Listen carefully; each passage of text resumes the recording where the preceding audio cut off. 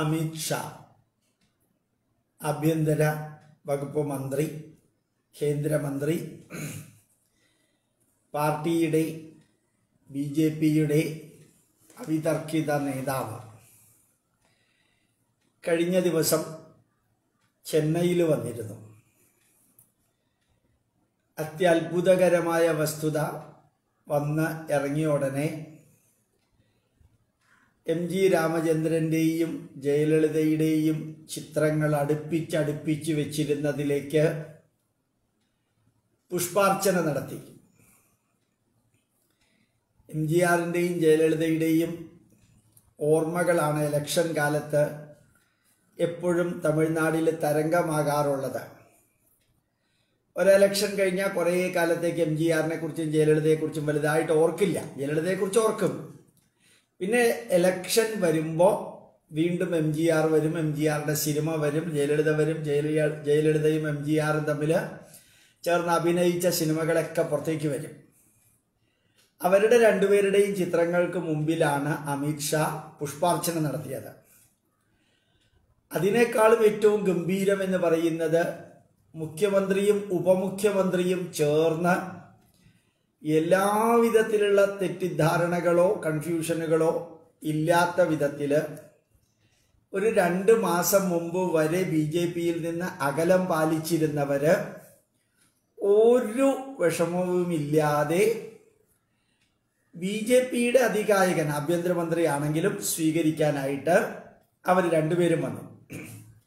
മാത്രമല്ല രണ്ട് മൂന്ന് ദിവസങ്ങൾക്ക് മുമ്പാണ് എം ജി ആറിനെയും ജയലളിതയെയും A I A D M കെയുടെ പ്രതീകമായ ഇവരെ രണ്ടുപേരെയും ബി ജെ പി എടുത്തതിൽ ബി ജെ പിയുടെ യാത്രയിലും ആറ് ക്ഷേത്രങ്ങൾ സ്പർശിച്ചുകൊണ്ടുള്ള വേലി യാത്രയിലും എല്ലാം ഉപയോഗിച്ചിരുന്നത് ഈ രണ്ട് ചിത്രങ്ങളായിരുന്നു. അതിനെതിരെ മുഖ്യമന്ത്രിയും ഉപമുഖ്യമന്ത്രിയും സാമാന്യം തരക്കേടില്ലാത്ത വിധത്തിൽ വിമർശിക്കുകയും ചെയ്തിരുന്നു.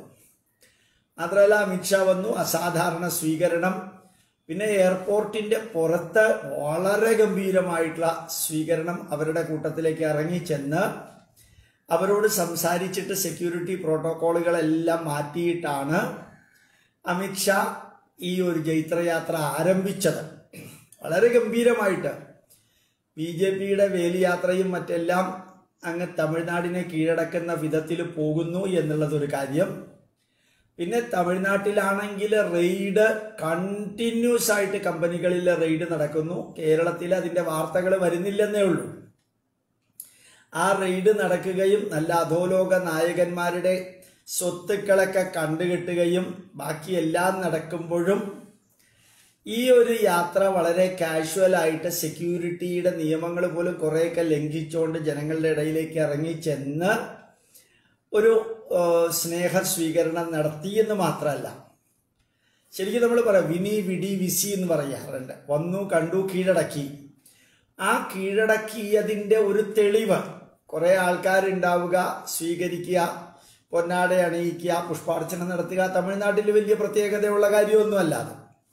എത്ര ആൾക്കാരെ വേണമെങ്കിൽ ആർക്ക് വേണമെങ്കിൽ എപ്പോൾ വേണമെങ്കിൽ കൊണ്ടുവരാം.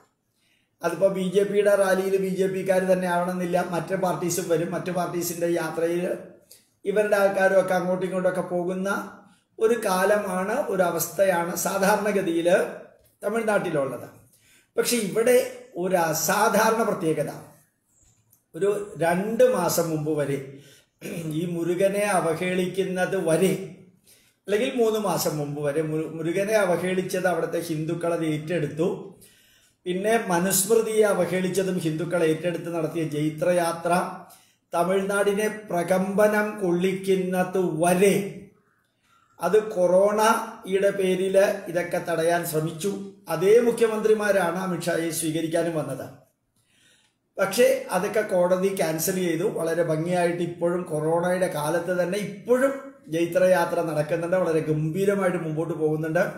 വലിയ വലിയ ആൾക്കാർ ഇതിൽ പങ്കെടുക്കുന്നത് ഇന്നത്തെ പത്ര ഇന്നത്തെ പത്രത്തിലെ റിപ്പോർട്ട് നോക്കിയാൽ മനസ്സിലാക്കാം.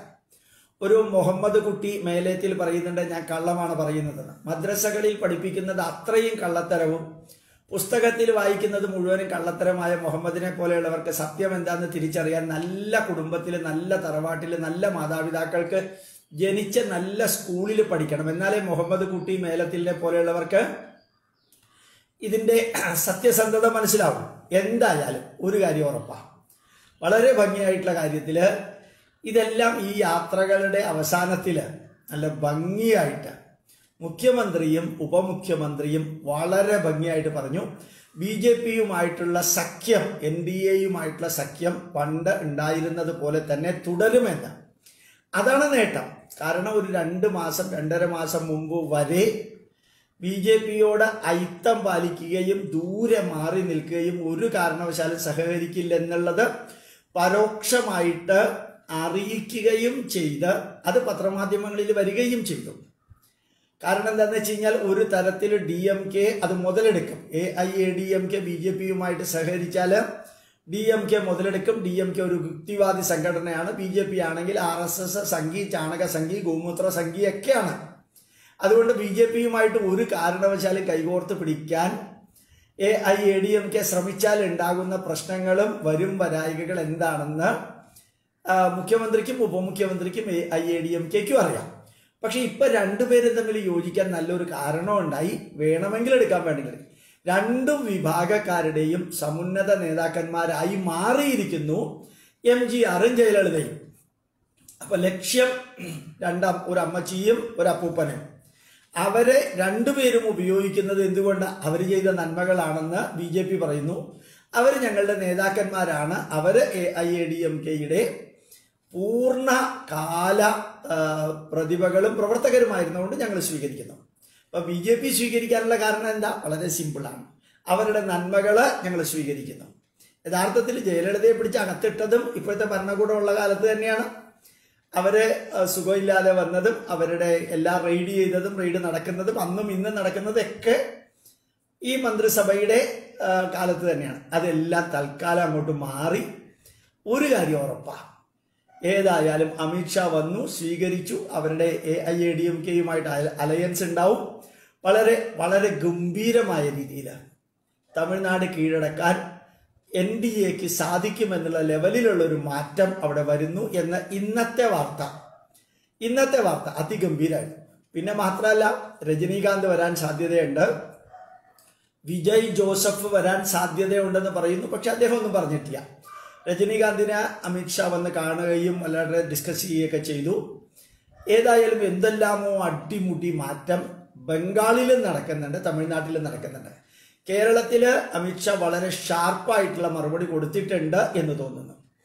നേട്ടങ്ങൾ ഉണ്ടാക്കാൻ പാകത്തിനുള്ള പ്രവർത്തനങ്ങളെല്ലാം ചെയ്യാനുള്ള അവസരം തന്നിട്ടുണ്ട്. അതനുസരിച്ചിട്ട് കേരളത്തിലെ എൻ ഡി എയുടെ ഘടന പുനഃസംഘടിപ്പിച്ചിട്ടുണ്ട്. ഇനി റിസൾട്ട് കാണിച്ചില്ലെങ്കിൽ അതിന്റെ പരിണത ഫലം വളരെ സീരിയസ് ആയിരിക്കും എന്ന് അമിത്ഷാ പറഞ്ഞിട്ടുണ്ട്. ഒരു കാര്യം ഉറപ്പാണ് ഈ നാടിനെ മാറ്റാൻ ഈ പത്തെൺപത് എൺപത്തഞ്ച് വർഷം പത്തറുപത് അറുപത്തഞ്ച് വർഷം ചെയ്ത ആ തിന്മകളിൽ നിന്ന് ഈ നാടിനെ മാറ്റാൻ കച്ചകെട്ടി കൈക്കൂലിയും ചതിയും വഞ്ചനയും ഇല്ലാതെ ഈ രാഷ്ട്രത്തെ ഒരൊറ്റ രാഷ്ട്രമാക്കി യു എൻ ഒയിലും യുനെസ്കോയിലും യു എൻ ഒയിലും യു എൻ സെക്യൂരിറ്റി കൗൺസിലും വരെ ശബ്ദത്തിന്റെ ഗാംഭീര്യം പ്രകടിപ്പിക്കാൻ സാധിച്ച ഇനി കേരളവും കീഴടക്കി ബംഗാൾ മിക്കവാറും കീഴടക്കും. അത്